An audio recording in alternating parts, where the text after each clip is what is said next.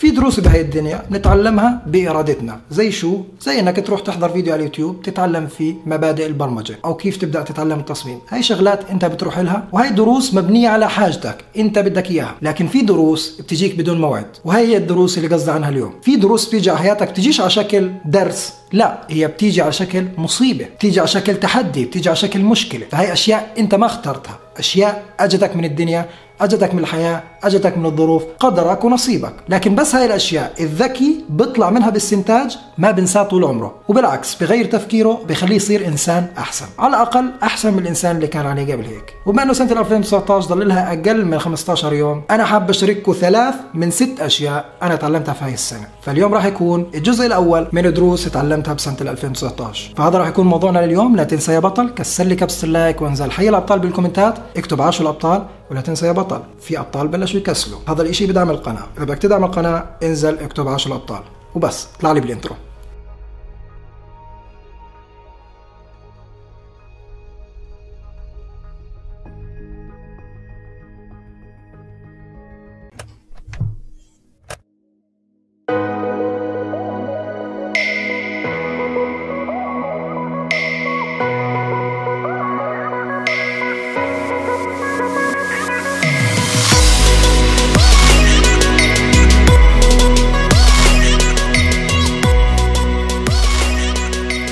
أهلا وسهلا بالشباب شرفتوا يا أبطال. رجعنا اليوم بحلقة جديدة من سلسلة اللعبه زي ما حكيت في المقدمة في شغلات إحنا ما بنختارها هي اللي بتختارنا. واللي بتابع فيديوهاتي وصل لاستنتاج بإنه لا شيء يحدث بالصدفة وخصوصا الأشياء اللي خارجة عن استطاعتك الخارجة عن نطاق تأثيرك هي أشياء أنت ما بتقدر تأثر عليها. مما يعني إذا أجتك مشكلة أنت كانت خارجة عن إرادتك هذا الشيء مش ناتج عن إيرور أنت عملته مش ناتج عن خطأ أنت سببته لكنه ناتج عن أنه نصيبك تصطدم في مشكلة ما. تعيش وضع إحنا بنسميه مصيبة. وتشاء الأقدار أنك تطلع من هذا الوضع. وبس تطلع من هذا الوضع تطلع باستنتاج. وهذا الشيء كفيل بأنه يغير نقطة صغيرة من شخصيتك. وللعلم مرات كلمة بتسمعها من شخص بتغير تفكيرك على العالم كامل. فما بالك وضع انت عشته وانت الوحيد اللي عايشه فاكتشفت بأنك كل شيء كنت تعمله غلط. أنا كثير مرات حمدت الله على مصايب المفروض نحمد ربنا على كل المصايب بس أنا صريح معكم. أنا بشر زي زيك بس في مصايب من جوا قلبي بس شفت شو اللي جابت لي إياه؟ قلت الحمد لله رب العالمين. ومع الوقت عن جد بحكي الحمد لله رب العالمين على أي شيء بيجيني. وخليني أبلش بأول مصيبة صارت معي خلال هاي السنة. بيوم من الأيام صحيت ورحت على الكمبيوتر واكتشفت إنه القناة اتسكرت.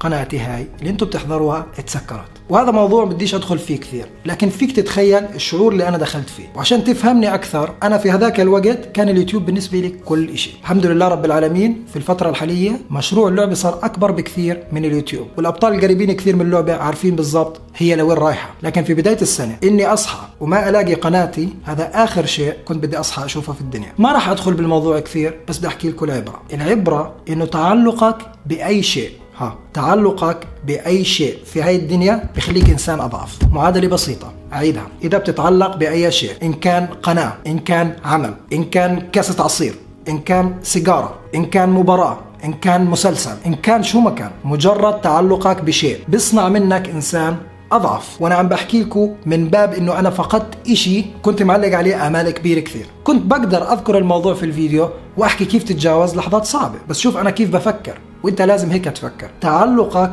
في أي شيء في هاي الدنيا. هاي قاعدة حطها في راسك وراح تغير كثير شغلات في حياتك. إنك تتعلق في أي شيء المهم تعرف هاي القاعدة لأنه معظمنا متعلقين بأشياء. وأنا والله على ما أقول شهيد قاعد فعليا في الفترة الحالية قاعد بحاول أقلل اعتمادي على أي شيء في هاي الدنيا. خلص يعني حتى الأشياء اللي بحبها عم بحاول أخليها بعيدة عني عم بحاول أبعدها عن دائرة التأثير في عن دائرة إغوائي كبشر. شو قصده هذا بإغوائي كبشر؟ أنت لما تكون تحب تلعب Fortnite خلينا نكون صريحين مع بعض. ما أنا كنت ألعب Fortnite ما أنا كنت أحضر كرة ما أنا كنت أشرب كولا ما أنا كنت أدخن ما أنا شاب زي زيك. هاي الشغلات مجرد حاجتك إلها. لما يجيك الإشي اللي بسموه ال craving إنه تيجي ببالك هاي الشغلة. يجي ببالك إنه يلا نروح نلعب Fortnite. يجي ببالك إنه شو صار بالمباراة. يجي ببالك سيجارة وانت أصلا قاعد بتدخن سيجارة ما انت قاعد بتدخن طول الوقت. باختصار اللي بدي اوصل له تعلقك في أي شيء بيصنع منك إنسان ضعيف. لأنه أول ما يجيك ال craving انت تحول تركيزك. من أي شيء انت بدك إياه لكيف بدي أجيب هذا الشيء؟ لكيف بدي أقضي هذا النشاط؟ لكيف بدي ألعب Fortnite لكيف بدي أحضر المباراة؟ لكيف بدي أدخن السيجارة؟ كيف؟ بزبطش ادخن في البيت. فلازم أطلع برا. فأنت بتضطر تطلع برا وتعمل إشي انت مش لازم تعمله لأنك بدك تدخن السيجارة لأنك محتاجها. أيام الأحد هون بألمانيا عطلة. أنا يوم الأحد إذا راح علي ال Einkaufen يعني يوم السبت نسيت أروح على السوبر ماركت يوم الأحد بعاني يوم الأحد بدفع 10 يورو عشان أروح على ال Tanke اشتري اللي هي الكازية. وليش 10 يورو؟ لأني كنت أشرب كولا كثير. ففيك تتخيل من هاي الأمثلة إنه تعلقك في أي شيء في هاي الدنيا بيخلق منك إنسان أضعف. فأنا هذا اللي تعلمته من فقداني للقناه والحمد لله رب العالمين رجعت القناة وهنا قاعدين بنشوف بعض عليها وهي لها فيلم كامل أصلا. بس هذا أول درس تعلمته ب 2019 إنه تعلقي بالأشياء بيجعل مني إنسان أضعف حتى لو شوي صغير. وإذا بدك تكون بطل وتنذكر في كتب التاريخ إذا بدك تكون بطل وتنذكر في كتب التاريخ قلل قدر الإمكان من الأشياء اللي بتقدر تأثر عليك. بس مش راح أحكي أكثر من هيك لأنه هاي وحدة من الأسرار اللي والله العظيم أنت عارف وأنت عارفة. انكم إذا أتقنتوها أنتم ملكتوا كثير بهاي الدنيا. نيجي للدرس الثاني وهو استنتاج اليوم راح أحكي لكم إياه بصورة مباشرة أنا ذكرته بصورة غير مباشرة بأكثر من حلقة. إذا أنت جديد على القناة أكيد لاحظت بأنه بالإنترو وأول ما دخلنا بالفيديو الدنيا لعبة لعبها صح. إيش قصدهم هذول؟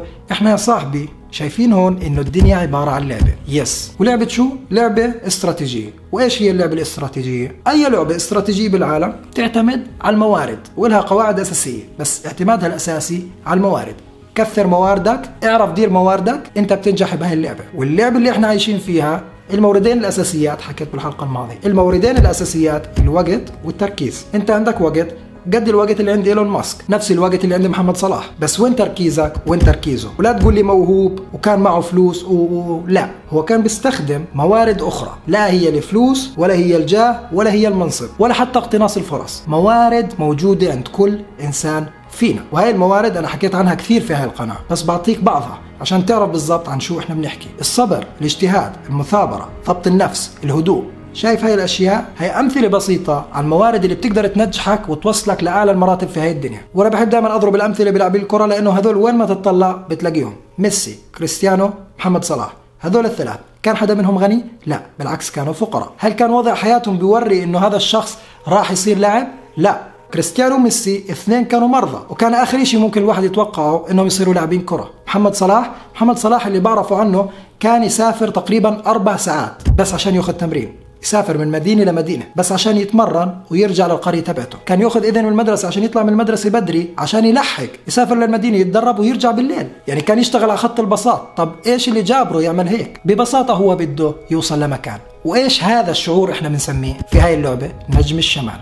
هي الفيديو. نجم الشمال تبعك هو موجود عند كل إنسان. وهذا لازم يكون موجود جنب الموارد الأساسية. أنت هيك عرفت كيف تلعب هاي اللعبة. إذا بدك تلعبها صح وإحنا دائما هون نلعبها صح اشترك بالقناة وفعل جرس التنبيهات وخذ لك لفة على القناة وحط براسك الهدف اللي انت بدك تروح له وجيب قلم ودفتر وانت هون إن شاء الله بتكون لعبتها صح. الشغلة الثالثة اللي تعلمتها في 2019 انت بتقدر تتحمل أكثر مما انت بتفكر حالك تقدر تتحمل. كيف؟ تحدي الستين. تحدي الستين تعلمت منه شغلات كثير مش شغلة واحدة. بصراحة أنا عندي علم بهاي الشغلة بإنه إذا أنت بتشد حالك بتضغط حالك you push yourself شوي لقدام دائما أنت بتقدر تجيب شيء أكثر. زي ما حكيت بواحد من الفيديوهات اللي هو أشياء بتمنى لو كنت أعرفها قبل ما يكون عمري 20 سنة إنه محمد علي كلاي. محمد علي كلاي مين ما بيعرفه؟ بتعرف شو السبب اللي خلاك تعرفه وخلاني أعرفه؟ هذا واحد من الناس كان أكثر إشي يكرهه في حياته هو وقت التمرين تبعه. تعرفوا ليش؟ لأنه كان في كل تمرين يحاول يزيد العد. يعني مثال بسيط. لو أنه كان يعمل ضغط ألف بيحاول يحط فوقهم مية. وبعد ما يخلص المية بيحاول يحط فوقهم خمسين. وبعد ما يحط الخمسين بيحكي لحاله بقدر أعمل خمسة وعشرين. بعد ما يعمل الخمسة وعشرين بقدر أعمل كمان خمستاش. بقدر أعمل عشرة. في راسه في شغلة معلقة إنه إذا ترك هاي اللحظة تمر رح يبلش يفكر إنه كان بالإمكان أفضل مما كان. ما بدي أوصل للمرحلة اللي يكون فيها كان بالإمكان أفضل مما كان. وفعليا 99% كان بالإمكان أفضل مما كان في حياتنا كلنا. وهاي الشغلة الآن أنا بحكيها. أول كنت أحكي إنه ممكن توصل لمرحلة بحياتك إنه مش راح يكون بالإمكان أكثر مما كان. لا أنا كنت غلطان. كل يوم إحنا عايشينه راح تثبت لك فيه الدنيا بأنه كان بالإمكان أفضل مما كان فضلك شد على حالك. لا تفكر للحظة بأنه أنت وصلت للمكان الصح. لا تفكر للحظة بأنه أنت وصلت للليمت تبعك. أنت ما عمرك تقدر توصل للليمت تبعك.